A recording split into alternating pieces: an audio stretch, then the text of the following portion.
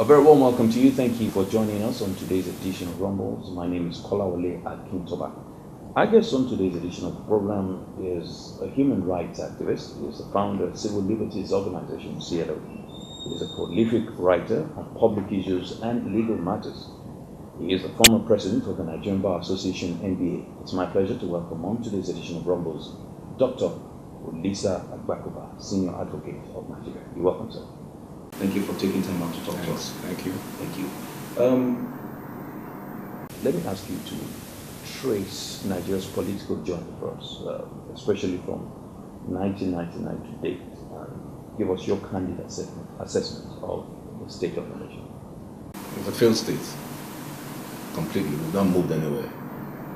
So 1999 comes along, we have democracy, all what we fought for, and the idea was to have what we call a liberal democracy, which means free press, vibrant media, political parties, not just one political party, a vibrant civil society, active trade union.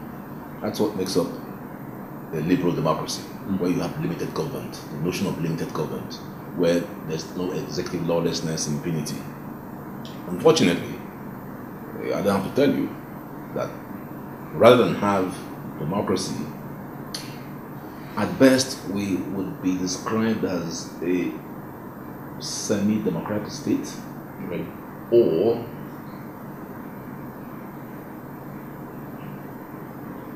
an autocratic state, neither of which is good for the Nigerian experience. So you've had two major political parties in a round robin situation. So PDP 16 years, now APC, and they want to stay for another 16 years. But if you go on the ground, I just came from the economic summit. You have all these foreigners, graphs, you know, computers, GDP, everything sounds so rosy. But go on the ground. If you want to know what's happening, ask Nigerians, ask the drivers, ask, ask the cooks. They will tell you what democracy is about. So Nigeria is a failed state. So, in, in other words, uh, there is a disconnect between the government and the government. How did Nnamdi, those- those- how did Nnamdi Kanu come about? A guy who was a nobody. He comes from nowhere because of, of the space created. You have five southeast governors, and they don't see what's around them. Don't see the poverty. So of course Nnamdi Kanu comes in. He sees millions and millions of unemployed youths who are angry, angry at, who, who, at, the, at, the, at the process, and he takes them. Hmm. Nigeria's problem is unaccountable government. So they're in Abuja in a confined space where they discuss and share money. Nigerians have no recognition of what goes on in Abuja. If Abuja were to disappear by volcanic eruption, Nigerians will notice it. It's that bad. I personally don't feel the presence of government. I don't. My mother-in-law passed on on Saturday. We went to hospitals around, no malls functioning. I mean, can you imagine that? It, I was so shocked. And I was asking my driver, if this can happen to people like us, what about those below? So there's, there is extreme disaffection. Extreme. Unfortunately, the absence of a vocal advocacy group is a problem. That's the problem. When we were fighting the military, there was a line. So it was pro democracy, the actors and the soldiers. So whether you were Hausa, Yoruba, Igbo, whatever, that was the line. Hmm. Now that it's all about civil politics, there's no line. So these guys use ethnicity, religion to tear us apart, whilst they stay together. They jump from party to party. PDP guys, half the PDP guys are in APC. If APC is going down now, they create another party. And they all work together. Because in their common interest, they have political power and access to unaccountable money. Mm. That's the problem. How do we begin to bridge this divide? That is a massive challenge. It's I'm, I'm, I'm cracked my skull. How can we absolutely get out of this mess? What I call the conspiracy of the political elite. And honestly, I have no answers. I don't have an answer. With the benefit of hindsight, how did we get it wrong and when? It depends what, what it depends on it depends on which which time you're talking about. I can say 1914. Got it wrong. Amalgamation was a mistake. Uh, 1960, independence came too easily. There wasn't any struggle. So we didn't shape a clear political agenda. We didn't, we didn't think through where we were going. And of course, there was the coup in 1966, and then we came back to 1999, the civilian government. Mm. So all of these epochal periods, mm. we never got it right. But one I think I regret personally as you know one of those pro-democracy activists that pushed these guys out. We made a fatal mistake. Whether if we had entered politics in 1999 would have been the difference, I don't know. But I think somehow I think we would have. But we had a big meeting in Gani's house, and we said, no, our job is done. Maybe we had gone on to contest political power, it would have been different. Because then it was very easy. But by 2003, the politicians had muddied the waters and it became difficult to get in, which is why I wrote a Obasanjo letter, which was part of the frustration that I felt. I said, Mr. General Obasanjo, you guys ought to be thinking about leaving a legacy. So since it's so difficult for young people to get in, why don't you, in collaboration with your fellow elder statesmen, say to your generation, enough.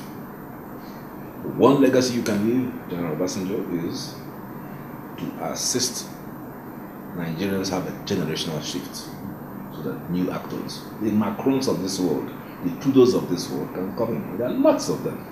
But nothing good will come out of all those old people. Nothing. So I'm skeptical. So that's the only glimmer of hope. But Obasanjo's reply when I met him was, even the Queen of England hasn't abdicated. so you see, so it's not easy to leave power. So we're in a we're in a bind. I think I'll continue certain answers, but they're not easy. No, no answers yet. No answers yet. Well, let's talk about this new generation of leaders. If there's no confidence in in in the younger ones, who says there's no confidence? There's confidence. Well, well some some some did say that there was no confidence. They, they didn't have confidence in, in some of. Who didn't have? Chief Akande uh, recently was talking about uh, the issue of uh, new leaders emerging, mm-hmm. and, and, he talked about the youths. Yes. Now, how do we how do we begin to bring them to the forefront? If you have not them the space, Chief Minister Akande, how did he get there? He was given the opportunity. He came there very early. He's I don't know. It's probably about eighty. I don't know. Mm. What, what is he doing there? I just saw Michael Heseltine on TV yesterday. I thought, thought he was dead. He was deputy prime minister of the, of the UK about 30 years ago. Right? So these guys should leave us alone. They cannot say uh, no confidence in youth when they are blocking the space. You got to go away first. They talk about experience. What experience? when uh, Awolowo started, how old was he? He, the Obasanjo, that retired from the army as a full general at 42. What experience did he have when he started? What about Ojukwu, who was 29? Right. So it's just a, a, a, good way to for them to continue to be relevant. They ought to just say, let's allow the youths and let's see what will happen. I can assure you that brilliant guys abound. Yeah. Let's um, look at your your submission at the second plenary session of the outgoing um, Bar Association meeting, which you attended uh, not too long ago, you, you were looking at Nigeria's underdevelopment and you, you traced that to incompetent leadership. Yep. What about the followership? The followership requires leadership. You can't blame the followership if the leadership, leadership, it means that they lead and we follow. So the leadership should be smart. I agree that you can put some blame on the followership, but not in a situation where you don't have a democratic space, democratic government. A liberal democracy, the followership is strong because they can deal with unaccountable governments. But here, even you guys in the media, how many of you are brave? How many? How many? You guys, okay. Well, doing interview now. Yeah, it's fine. But what about the critical issues? Like uh, uh, Richard Sackur when he when he interviewed a Obasanjo, put him on the on the on the spot because you also need that you also need adverts. That's the truth. So the media itself is careful. The only media house that tried collapsed. Next, it collapsed. So the problem we have is a very serious one. You uh, labor strong for are weak, and so on and so forth. So followership, yes, I wish it was active. I wish it was more active. But what about the leadership? When you say you want the Nigerian president, you present a manifesto, a campaign manifesto, that you do A, B, C, D. You go there, you don't do anything. Look at Mrs. Uh, Buhari complaining about no syringes in the Aso, Aso Rock Clinic. When they fired the, the, the, the head of the clinic. So yeah, followership, I, I wished followership were you know, more, more vibrant. More vibrant, vibrant, but it's not. So yes, okay, some part of the blame goes there, but essentially, now in my state, Anambra, all those guys are fighting. Peter Obi was in APGA, he is now over in, in PDP. He brought out um, Obaze to run for governorship four years ago under APGA, dumped him, took uh, Mr. Obiano. Now he has dumped Obiano and he has taken uh, he has taken um, back uh, Obaze so you begin, you begin to wonder what's going on here. So I said to myself, what, what can I do as an Anambra person? Can I go and start shouting? Do I have the money? They will just share 20, 20 naira to people, and those are the guys who go and vote. Why can't you contest as governor? I don't have them. I don't have the resources. Mm. That's the problem. What about goodwill?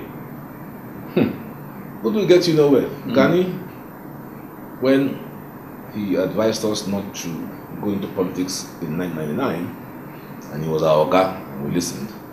By 2003, he told me, Abako, that's what he calls me. So Abako, hey, we made a big mistake. Oh. We should have done this thing. So he formed the NCP. He thought Goodwill would take him there. When he lost so woefully, he cried like a baby. I was there. Cried. After what I've done, but that is not enough. Mm. It's not enough. You don't have any structures. You have no structures. So that's the problem party politics is such an intensely financially consuming affair. I hope you know you have to penetrate all the words. All the words. You have to have the structures. The church, the mosques, all these are the structures that you have to feed. Mm. Yeah, the good will tell all this is a nice man. Trying to go to talks is in Lagos, but he's here on the ground here. So I can't do it. I don't kid myself. I can't do it. That's why guys of goodwill, Pat Utomi, you can win. But it's the bad guys that win mm. because they know what to do. And when they get there, they're completely unaccountable to the people that put them there. Mm. Because the people that put them there were bribed. That's the problem. Mm. You, you, were, you were one of those who, who stood in the forefront of to form democracy in this country pre 1999. Yes. If you had the opportunity uh, mm-hmm. to rewrite things, what would you change? What? 1999. Because clearly, although we were small, we were cohesive. And we took the political space. Clearly, we took it to the point that Mr. Thabo Mbeki came to us to say, this new democracy will not happen without you guys. Could you come and see me in Abuja? We tell him go away because Thabo Mbeki used to be here as a ANC ambassador. He made the sacrifice to come to Lagos airport on his way back to South Africa. We agreed to meet him there take this opportunity and refused. That for me was the most grievous error we made. Because had we taken it, we could have easily. In fact, the international community made clear that as part of the rapprochement, two things needed to happen. We needed to make sure that someone from the southwest the president because of Abiola accommodate the human rights people. The AD, the AD, the AD was the vehicle AD did not qualify nationally under the constitution, but it was registered. We foolishly declined. The younger part of the pro-democracy movement declined to join, but the more senior part about and Co. They saw the opportunity and went in. And went in. Who were the ones who made Tinubu uh, governor? Who were the ones? He did, he did, he, did, he lost to to Funsho Williams, but he said no, must be Tinubu because he was one of us. Now, Tinubu took the space and at least did something in Lagos. So you can imagine if I went to Anambra governor, I obeyed to Osun State, that that that he could have been different. I think that's my biggest regret. Let, us uh, we'll come back to some of these issues uh, much later. But uh, earlier in one of your submissions, you talked about the emergence of Nnamdi Kanu.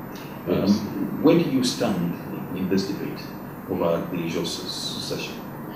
Uh, no, I'm not for secession. I was a Biafran soldier, so I, mm. I would never, ever, ever want secession for many reasons.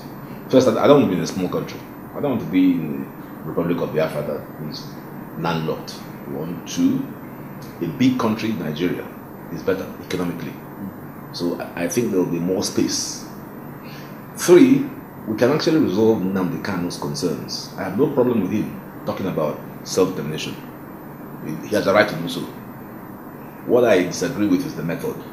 I mean, you can see that it's not easy to have succession anyway. So that happened in Spain or the Kurdish people. So, what will resolve this problem? is a rebalanced federation. We have 98 items of power in the constitution. The federal government of Nigeria exercises all of them. 68 exclusive to the federal government. 30 shared with the states, but the federal government has first bite, meaning that there's only one government. So I want to see an active local government, 774, they have to be active and deal with local things like collecting refuse, making sure the streets are clean. That's the job of local government, not the state government. So when you rebalance the federation, I think we can achieve what we popularly call restructuring. Mm-hmm. And I think that way Nigeria will begin to, you know, this lopsidedness mm-hmm. will balance out. The federal government will do a lot less mm-hmm. And it will, it will become more efficient. And the issue of competence will, will, will come to the forefront. Right. Okay, some say we need to restructure our minds Yes. Um, yes. Others say we need to go back to the regional system of government yes. to achieve some of this. Yes. Um, for us to move forward. Yes. On your part, you were quoted as saying restructuring is not the roadmap to federalism. Yes. Um, how so, and what do we need to do yes. uh, to move forward as one indivisible nation? Yeah, I got tired with the buzzword restructure. I need everybody restructure. So I said, what does it mean? Where's the blueprint? We need to have a blueprint. Mm-hmm. We just talked about restructuring the mind. It's part of the process. It's no point restructuring Nigeria into regions and you carry the inefficiencies and corruption down there. Right. So we must first say, how can we become a liberal democracy? And how can we limit power of the, the governors? Mabeze calls it the notion of limited government. It means you need rule of law, strong institutions, these are very important components. Now, when you put all that in place, then you've got to say, what exactly do we mean by restructure? And the first point to note is that whilst the South is generally in favor, the North is not. It's something we have to accept. Why do you think the North is because North, supposed to restore? Because North doesn't have oil. They don't have anything. So you in the south, you have everything, and you want to restructure and take away the money we're sharing. So that, so it's for us, and that's why I'm saying I'm tired of hearing Ohanaeze, Yoruba leaders of thought going to hotels and issuing communiques, calling the media. That's not restructure. I am Ohanaeze man. You and the Yoruba elder, we know what we want. Mm. So why don't we have a blueprint? go across the north and then engage them and then find what's the challenge, where, where are the problems. So the South wants as part of restructuring a new constitution, referendum. The North doesn't want a new constitution. They don't want no referendum. So we say, okay, where do we meet? Now, I think the meeting point could be that the National Assembly simply amends the constitution. We don't necessarily have to have a new constitution. I would go for a new one but if our brothers in the north don't want it, they ain't gonna have nothing. So you see, you must find a middle way. That's what I meant by, you know, complete restructure. Right. Right. Uh, let's go back to this debate on the IPOB issue and uh, tell us what your view about where the governors in the southeast stand, where Ohanaeze stands, and how we can bring all these differences together Mm. to move forward Mm. in that part of the country. Well, the problem starts from the disconnection I, I spoke about when the governors did nothing for the people. So the people have been disadvantaged. If I went to court on grounds that the Southeast has been completely marginalized and excluded, that is, that is clear. How that posed the problem in the East was hunger and disease, no jobs. The other day I drove when I was going to an Anese meeting from Onitsha to Enugu. I couldn't believe the state of the roads in utter chaos. They say that uh, um, General Buhari hasn't appointed enough Igbos, but, what President Jonathan did. The same Igbo politician sat in Abuja and did nothing. The pioneers and of this world did nothing. So that's not the, that's not the, what it is. I'm not looking for anybody's charity. I'm just looking for equity. Fix the roads. Do the things you are doing elsewhere. Then the Nnamdi Kanu possibility will not, not be there. Mm. But when guys like in my town manager, people get up, they don't have anything to do. So yeah, have you heard that there's somebody down the road there who is offering free lunch and, and 2,000 naira flock? So that was the problem. The fact that the political class of the Southeast talk completely marginalized their own people. That's the first problem. Second problem was the federal system completely marginalized the very Southeast people. So what do you expect? They'll be mm. angry, and then can come and use them. Mm. That's it. Let- Let's look more closely at this issue of uh, marginalization. Um, Chief Adesanya was speaking, we said not too long ago, and he, he did say that the Igbos are their own fatal enemies. How do you respond to that? No, that's not true. That's not true. The DNA of Nigeria is simple. The DNA of Nigeria consists of six geopolitical zones. We have only five states in, in our own zone. In the north, there are seven. The northwest, seven.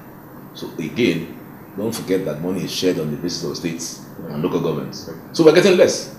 That alone tells you we're getting less. The Niger bridge there is, almost- is, is squeaking, ready to fall. Anytime a politician wants to deceive us, they come there and turn the sword. Once they've taken our votes, they run away. So there is no question that we are. Yeah, okay. Partly, part, part of it is the fault of evil uh, political leaders, but there is something I don't want to say deliberate. I don't- I don't understand why it should be deliberate, but something is wrong when the East is excluded. In Obasan, in um, in in uh, Jonathan's time, I would say marginalization, but now it's exclusion. The recent appointments in NNPC, not the same. You, you've taken the federal government. I've taken it, not a single Igbo man, yet there are 11 Northerners. How, would I, how would I feel? I would feel hurt. I would feel that maybe I should follow Nnamdi Kanu. So they are giving, my point is that they're giving Nnamdi Kanu the, The fuel. the fuel to say, what I told you, where are you? They, they put you there. You know, the thing about these appointments is as if when you, if you put my brother Igbo man into an NBC, I'll, I'll get a contract. I'll get nothing. When Ekwueme was vice president, in order to lure us to vote for the NPN, which I did not, they put a port in Onitsha in 1978. Hmm. From that day, 78 to today, the port has never worked. Never. From time to time, they'll issue a contract, billions, refurbish it. So how, how would I feel? This is the problem. So if we want to have Nigeria work, it is not to say that we are our own enemies. It's to look at the injustice in the system. There's a lot of it.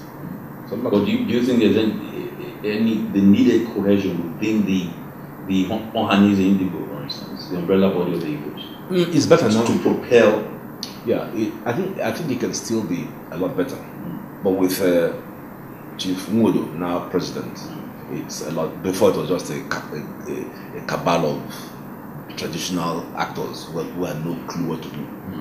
But I wish to see some stronger cohesion on the part of Haneze, on the part of the Forum of Southeast Governors, Right. so that they can make they can make demands. Right.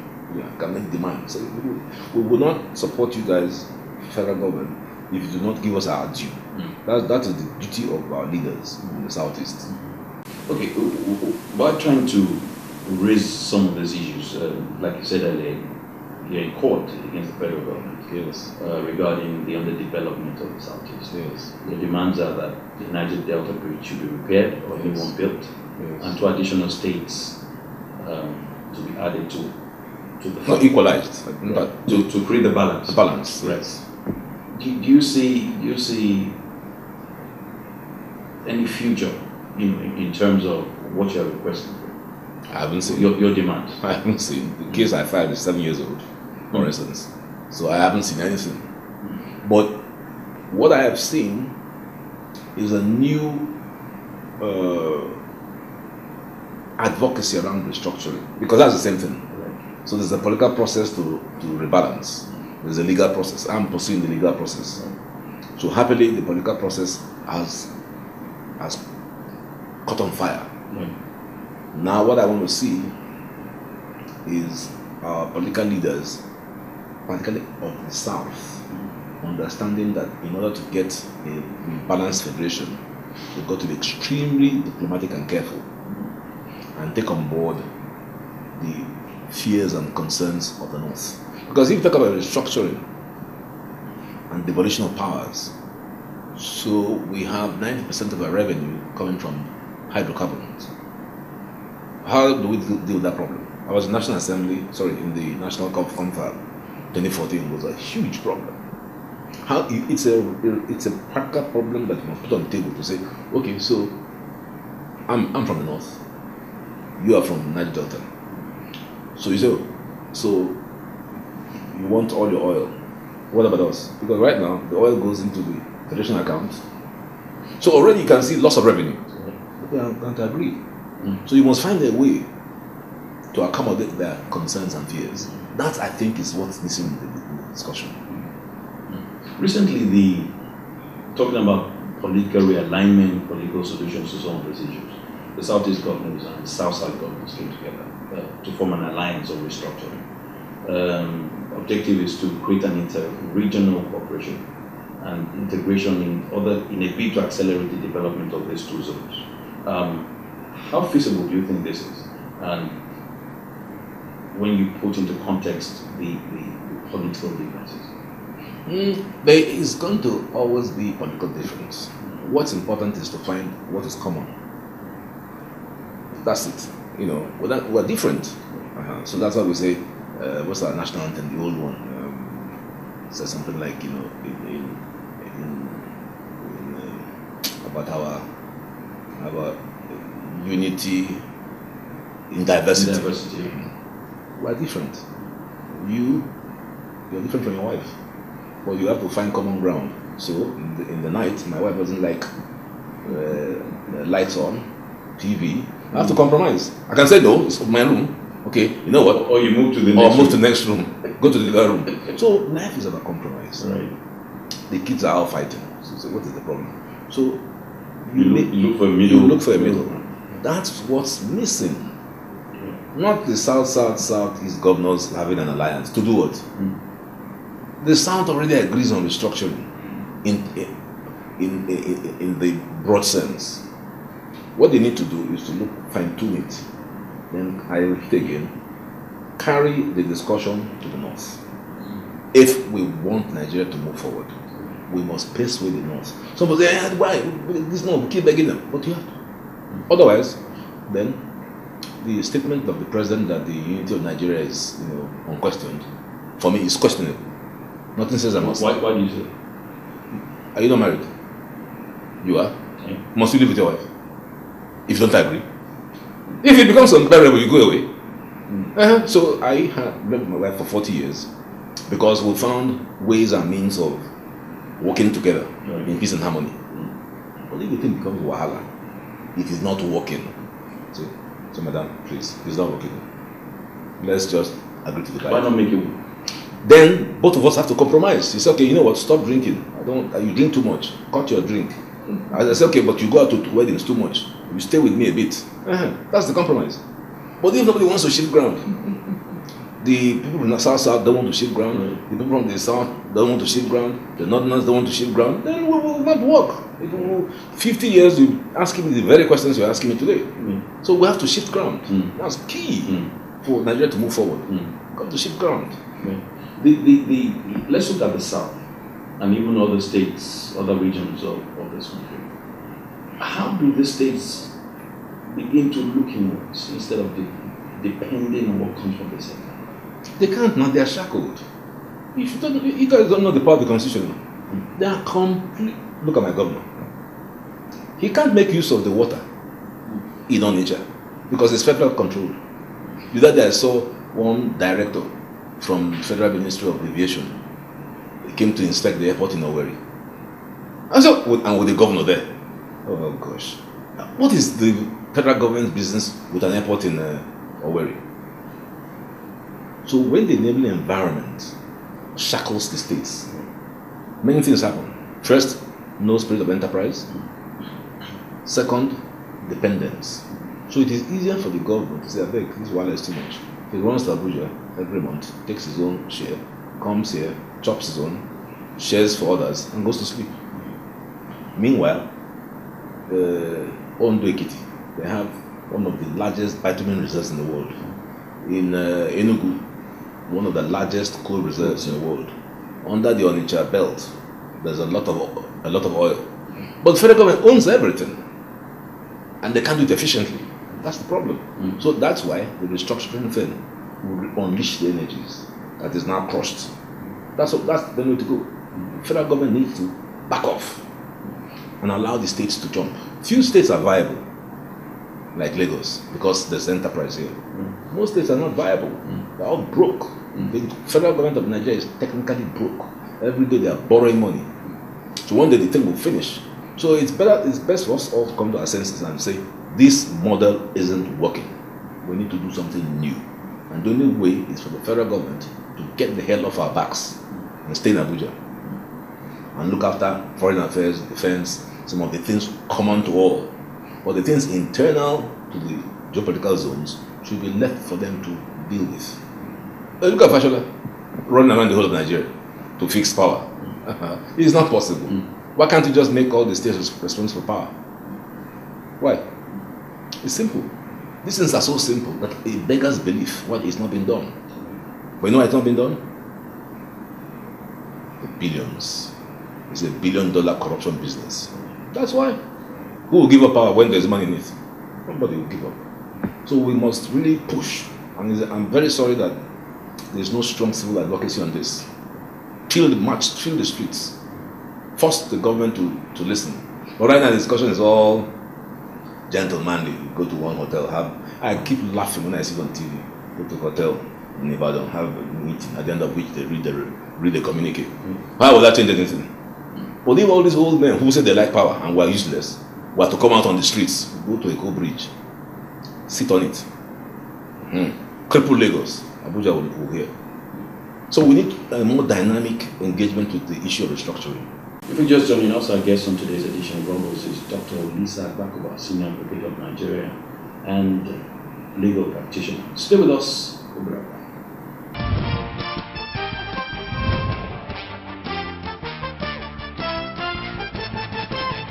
You're welcome back. It's still Rumbles on Galaxy Television, and our guest is still Dr. Olisa. Uh, sir, let me, let me ask you to, I'm going to take you back a bit, back to the, this discussion on IPOB. IPOB. And um, the, the group was proscribed, and uh, the army declared that it was a terrorist group. What are, what are your thoughts on it? Mm, this was wrongly done. It was um, sledgehammer attack on a fly. wrongly done. If the federal government of Nigeria has proper intelligence estimates, they will know that IPOB is just a ragtag army of un- unemployed youths, and police action would have been enough. So I, I disagree with the deployment of troops. And then look at the name chosen, Python 2. Why?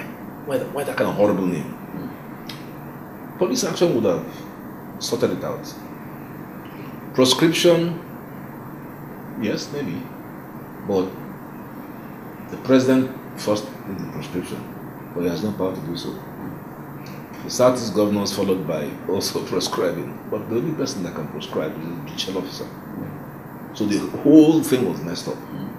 But anyway, whatever. That's now By the way, that's by the way, that's sorted. And I understand that Nnamdi Kanu is, has been given right of safe passage.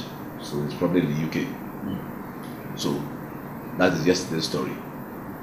Today's story is that as IPOB has departed, people are still there, hungry, dispossessed, diseased, no job. How do we deal with that problem in order to avoid another IPOB? Boko Haram is the same tra- narrative. The Boko Haram, Boko Haram thing, when the bishop told me the story, I said, ah, you're right, you know. So Boko Haram people see that all these Western style gov- governors are all corrupt. So they, they, they, could, they easily penetrate the minds of the less the privileged. less privileged. Look at people. Let us show you our own. I can't see how anybody would, would pick a gun and say, I want to kill myself. But the narrative was there. So the narrative of IPOB is the same as um, Boko Haram. So we need our leaders to understand that they need, they need to do the right thing, which is to discuss how Nigeria can be a great country how Nigeria can be one of the large, most industrialized in Africa. And things are working. There's electricity, there are jobs, enterprise, free press, all of the things that create a liberal democracy. That's what I, I, I'd like to see. But as I say, you said, is it Bisi Akande who said, said something? Yeah, so I say back to him, you guys can, will never be able to perform. So what you ought to do, and when I say Bisi Akande, I refer to that group of elders.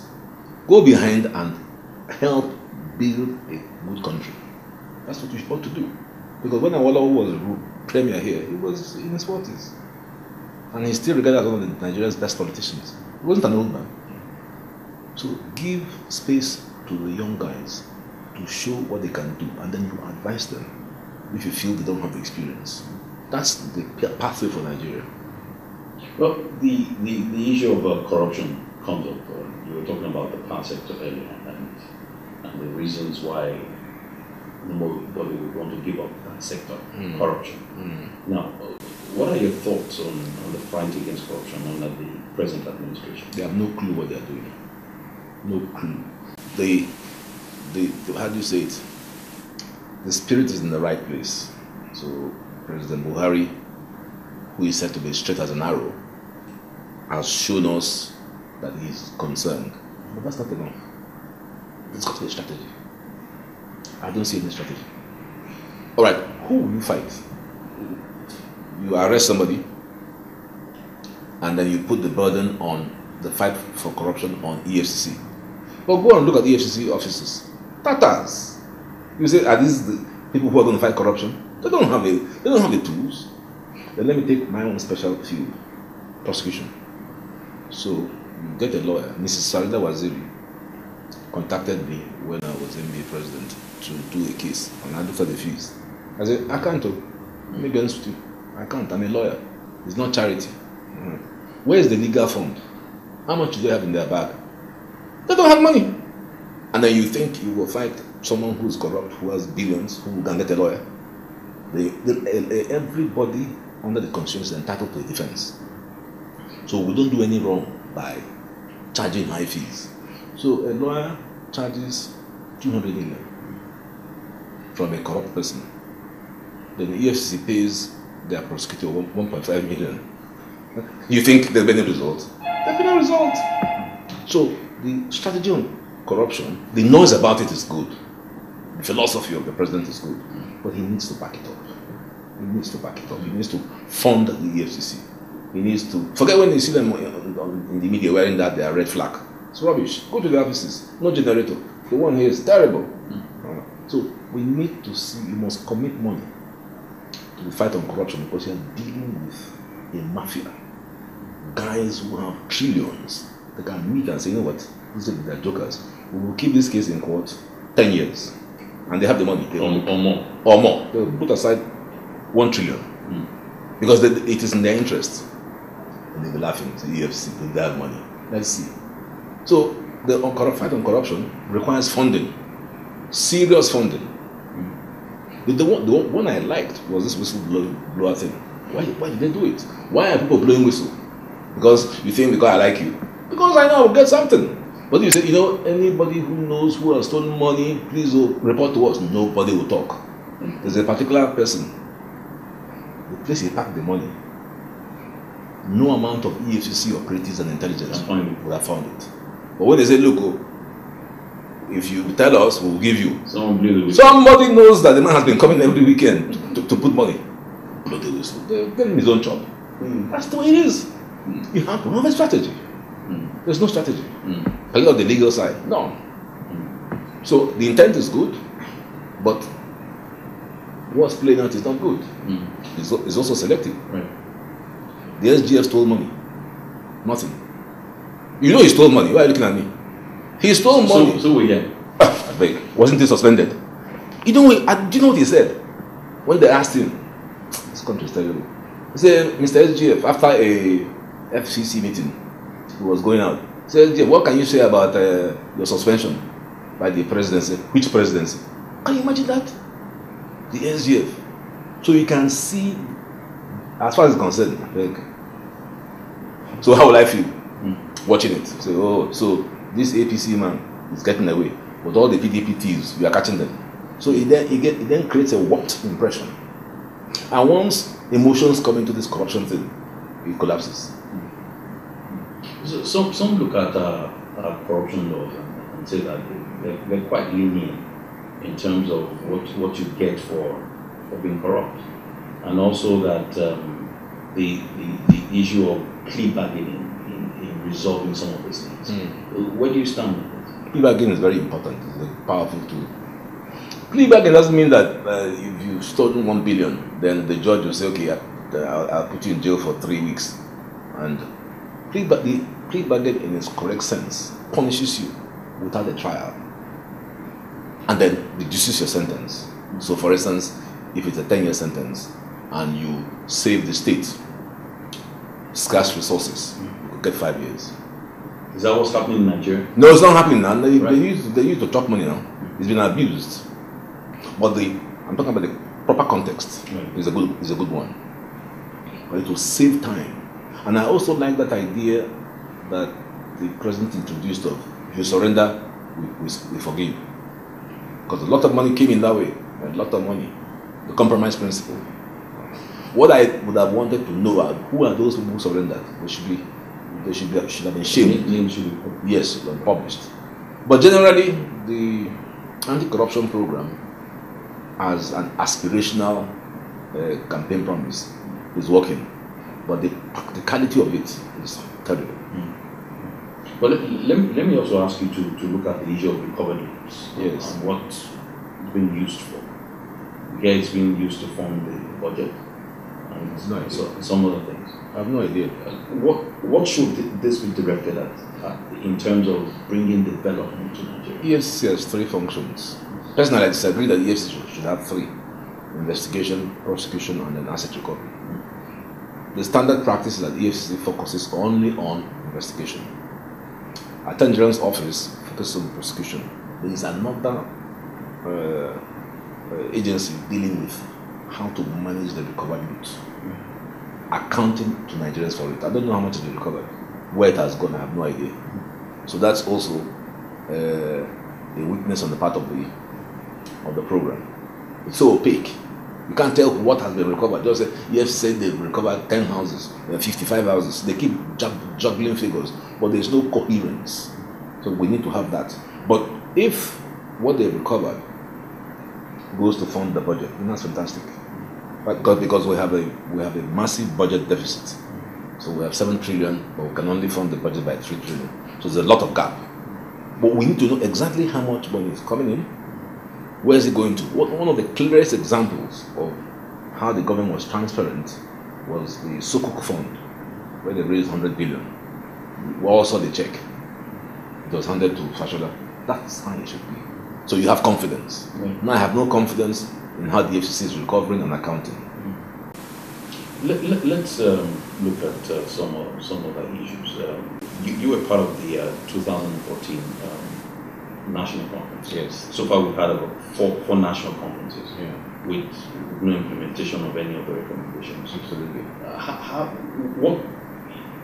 Looking back at 2014, mm. what were the key issues raised, the key agreements, and what some of the things that we can take from that to to resolve some of these issues uh, confronting us as a the, the key agreement was regionalism.